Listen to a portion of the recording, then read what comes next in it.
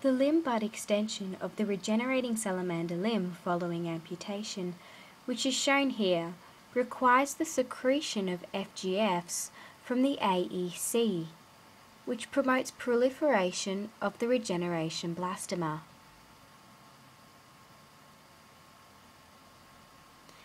FGFs then stimulate the secretion of SHH from the ZPA, which activate GREM1 in the AEC.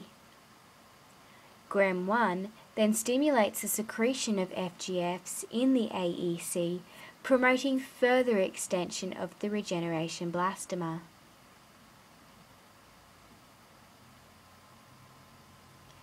This process repeats until the limb has reached the correct size.